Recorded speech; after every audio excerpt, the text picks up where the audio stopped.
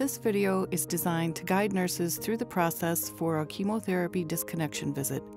We will be discussing the steps for disconnection and the unique equipment used when discontinuing chemotherapy in the home setting. Following this video, the nurse should be able to complete the following objectives.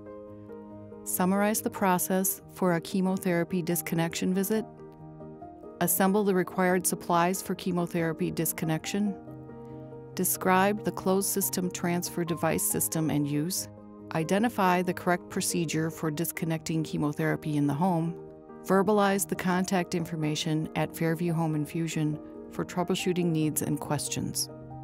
We will also introduce the product EquiShield.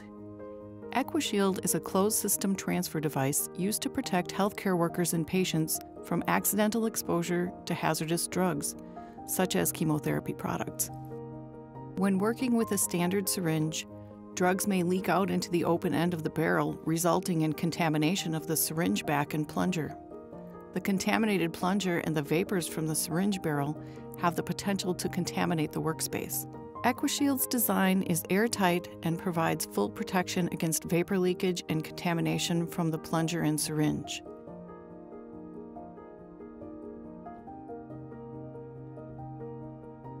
When using the EquiShield product, it is most important to know that there are male and female connectors, and when the two are combined or snapped together, there is no chance of any drug leakage or vapor release. If you need to draw labs, they should be drawn peripherally or after the device is removed. Labs should not be drawn through the CSTD. Let's take a look at the process. If you are scheduled to disconnect chemotherapy for a patient, your patient most likely has an implanted port in the chest wall or a PICC line. When you have finished your assessment of the patient, gather your supplies for disconnecting the chemotherapy.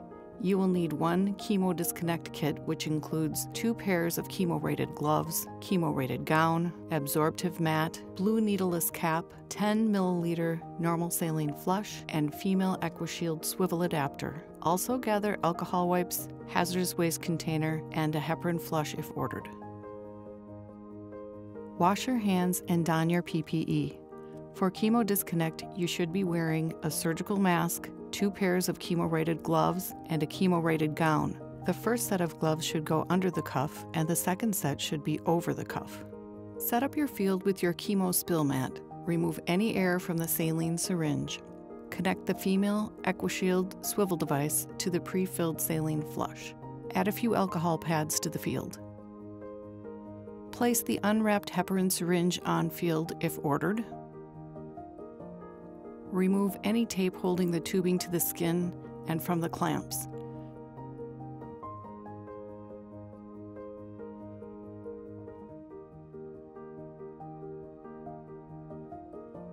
Turn off the CADD pump.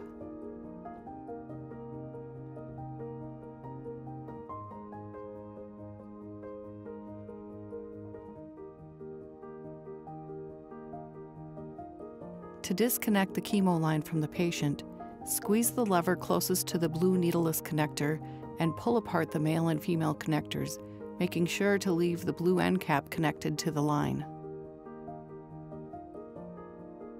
Place the tubing and the chemo bag in the hazardous waste bin.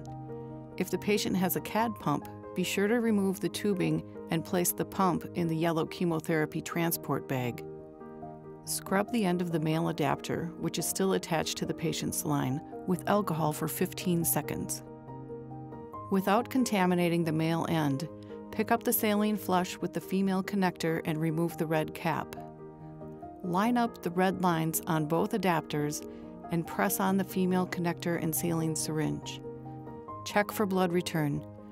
Remember that you only need to see the blood return in the line. You don't need to pull blood into the syringe. Once you have visualized blood return, you may proceed to flushing the line using a pulsatile flushing action, pulse pause, pulse pause, to create a turbulence in the line. After flushing the saline, clamp the tubing, then disconnect the entire EquiShield device with the empty syringe attached from the blue end cap by squeezing the sides of the male connector and twisting. Take care not to remove the blue cap. Place in the hazardous waste container. Using a new alcohol wipe, scrub the blue end cap again for 15 seconds and let it air dry without touching it. Flush the line with heparin if ordered. Clamp the tubing to create negative pressure. Take care not to remove the blue cap. Place in the hazardous waste container.